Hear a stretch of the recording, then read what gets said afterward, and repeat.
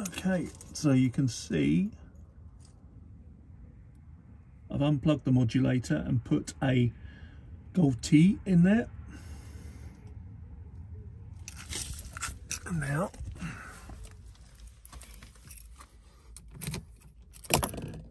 key in.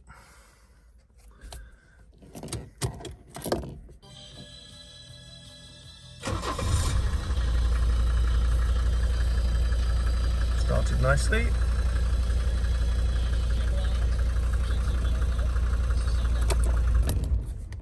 Yay! Now let's try the locks.